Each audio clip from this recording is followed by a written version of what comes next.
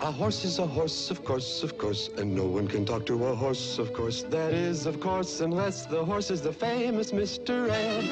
Go right to the source and ask the horse. He'll give you the answer that you endorse. He's always on a steady course. Talk to Mr. Ed.